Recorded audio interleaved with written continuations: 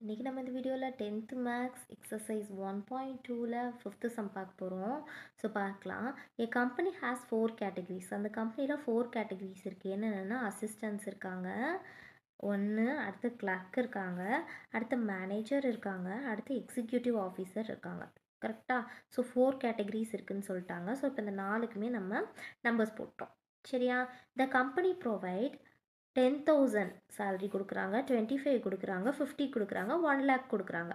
இல்லையா? யார் யாருக்கு அப்படின்னா அவங்களே ஆர்டர் வைஸ் கொடுத்துருக்காங்க. ஸோ அதை நம்ம அப்படியே எடுத்துக்கலாம். ஸோ இப்போ அசிஸ்டன்ஸ் இருக்காங்க இல்லையா? அசிஸ்டண்ட்டுக்கு எவ்வளோனா டென் தௌசண்ட் அடுத்து கிளர்க்குக்கு வந்து டுவெண்ட்டி ஃபைவ் தௌசண்ட் மேனேஜருக்கு வந்து ஃபிஃப்டி தௌசண்ட் எக்ஸிக்யூட்டிவ் ஆஃபீஸருக்கு வந்து ஒன் லேக் சரியா?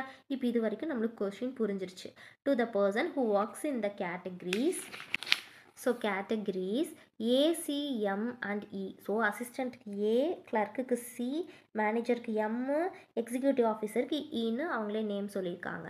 A two A three A four so இப்போ ஏ ஒன்று டூ த்ரீ ஃபோர் கொடுத்துருக்காங்கன்னா என்ன அர்த்தம்னா அசிஸ்டன்ஸ் நாலு பேர் இருக்காங்கன்னு அர்த்தம். கரெக்டாக ஏன்னா ஃபோர் வரைக்கும் கொடுத்துருக்காங்க. ஃபைவ் வரைக்கும் சாரி ஃபைவ் வரைக்கும் கொடுத்துருக்காங்க. ஸோ அசிஸ்டன்ட் வந்து ஃபைவ் வரைக்கும் இருக்காங்க.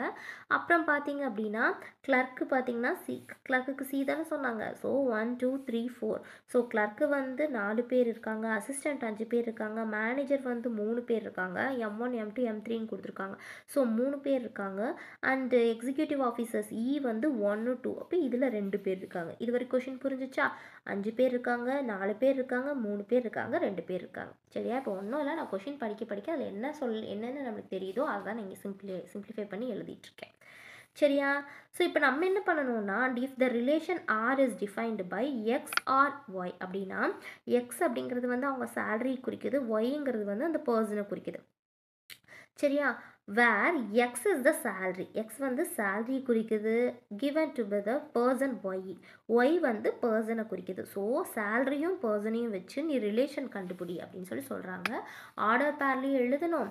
ஆரோடைகிராமும் போடணும்னு சொல்லியிருக்காங்க. சரியா?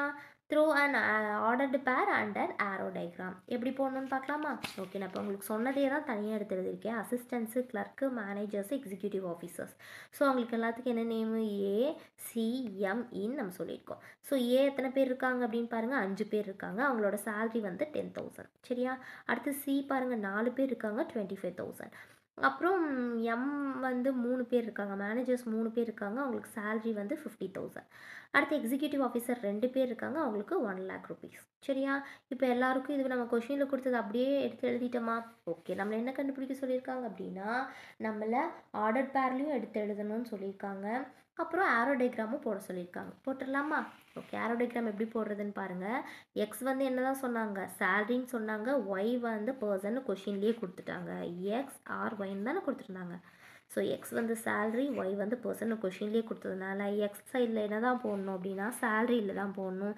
ஒயில் வந்து அவங்களோட என்ன டெசிக்னேஷனோ அதை போடணும். சரி அப்போ டென் தௌசண்ட் வாங்கினவங்க யார் யார் அப்படின்னா ஏ ஃபோர் வரைக்கும் நாலு பேர் அசிஸ்டன்ஸுமே டென் தௌசண்ட் சேலரி அதனால் நம்ம டென் தௌசண்ட் போட்டு நாலு பேர் கொடுத்துருக்கோம். அப்புறம் டுவெண்ட்டி ஃபைவ் தௌசண்ட் வந்து மூணு நாலு கிளர்க்குக்கு ஸோ நாலு பேருக்கு கொடுத்துட்டோம். அடுத்து ஃபிஃப்டி தௌசண்ட் வந்து மூணு மேனேஜர்ஸ்க்கு so M one M two M three மூணு மேனேஜருக்கு வரைஞ்சிட்டோம். அடுத்து ஒன் லேக் வந்து எக்ஸிக்யூட்டிவ் ஆஃபீஸர் ஒன்று டூ ரெண்டு பேருக்கு ஸோ ரெண்டு பேருக்கு. சரியா? இது வந்து ஆரோ டைக்ராம் ஸோ இப்போ ஆரோ டைக்ராம் நம்ம போட்டோமா? ஓகே இப்போ இது செட் ஆர்டர் ஃபார்மில் எப்படி எழுதணும் அப்படின்னா அதாவது ஃபஸ்ட்டு சேல்ரி ஃபஸ்ட் எக்ஸசைஸ் தானே எழுதணும். So salary comma A one அதாவது இங்கே நீங்கள் கிராஃபாக போட்டிங்க இது ஆரோ டயக்ராமாக போட்டிங்கல்ல அதே தான் நம்ம தனித்தனியாகவும் எடுத்து எழுதணும்.